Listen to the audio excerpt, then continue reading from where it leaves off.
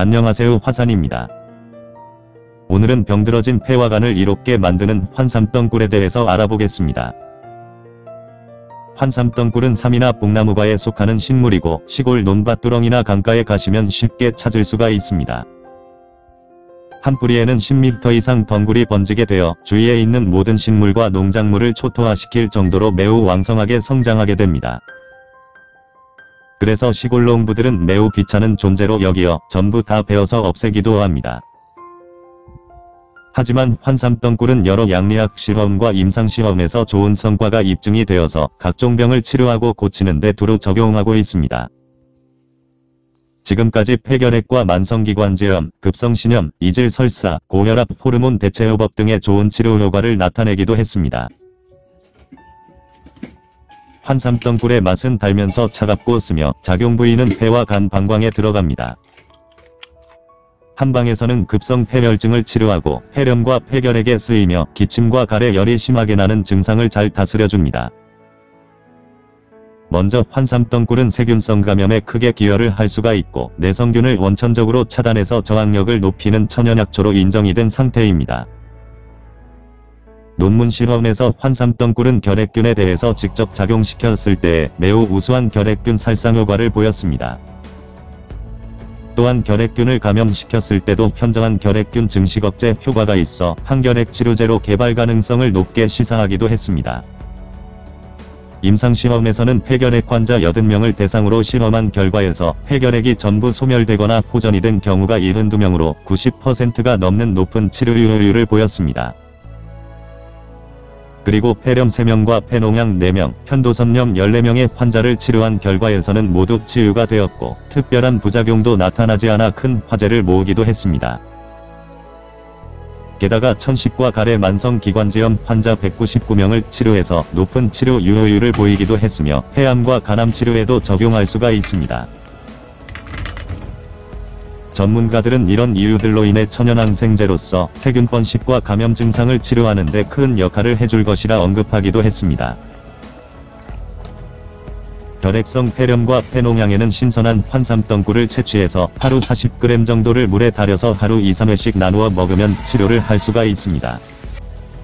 소화불량과 이질설사병에는 잎과 줄기 30g의 물 한 대를 붓고 물의 양이 3분의 1이 되게 달여 마시면 되고 5일 이내에 큰 부작용 없이 낫게 합니다. 무엇보다 환삼덩굴은 고혈압과 신장질환 등의 특효가 있는 것으로 알려져 있고 현재는 건강차를 만들어 제품을 판매 중에 있기도 합니다. 특히 몸에 열증이 심한 환자의 열을 내려서 해독작용을 잘 해주고 현대인의 고질병인 고혈압과 해열제로 많이 쓰이고 있습니다.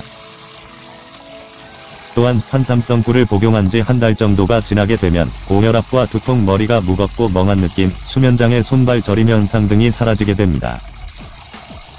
아울러 뇌졸중으로 인한 언어장애와 시력장애, 심장의 가슴 음통과 답답한 증상이 거의 대부분 없어지고 혈압도 정상 수치에 가깝게 됩니다.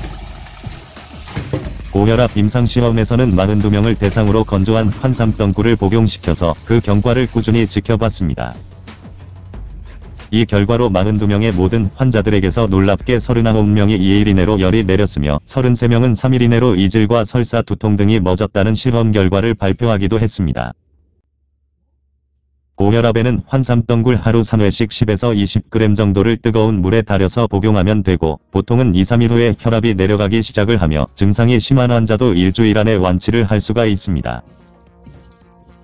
다음은 급성신염 임상보고에서 7명의 환자를 관찰한 결과 대부분 2-4일 만에 부종이 내리기 시작하였고 소변량도 12에서 24시간 내에 증가되었습니다. 또한 허리둘레도 2-3일부터 축소가 되기 시작을 하였으며 체중은 24에서 72시간 내에 감소되기 시작을 했습니다. 그리고 혈압은 3일째부터 내려가기 시작을 하였고 요단백은 7일에서 15일 만에 음성으로 전환이 되었으며 혈액 상태나 그 화학 변화도 크게 호전이 되었습니다. 환삼덩굴은 식용으로 봄철 연 한순을 채취해서 이처럼 간단하게 몇 가지 양념만 넣고 봄나물로 무쳐서 먹을 수가 있습니다. 또는 비빔밥을 해서 먹을 수가 있고 찹쌀로 부각을 만들거나 장아찌를 담궈서 먹으면 식감이 매우 좋습니다. 그리고 환자들은 식이요법으로 녹즙을 내서 먹거나 주스나 우유에 타서 마시기도 합니다. 차로 응용할 때는 7, 9월 사이에 잎을 채취해서 깨끗이 씻은 다음에 그늘에 2, 3일 정도 말려서 약재로 사용하시면 됩니다. 일반적으로 잎차는 1회 2-5g 정도를 300cc 물에 달여서 차로 복용하시면 되고 산재나 환재를 만들어 쓰기도 합니다. 환삼덩굴은 독성작용이 없어 지금까지 부작용에 대한 특별한 보고는 없지만 차가운 성질을 지녀서 몸이 차거나 소화기관이 약한 사람은 적당히 드셔야 합니다. 그리고 사람 체질에 따라서는 알레르기 반응이 일어나기도 하니 이 점 주의해서 복용하시길 바랍니다. 시청해 주셔서 감사합니다. 지금까지 화산이었습니다.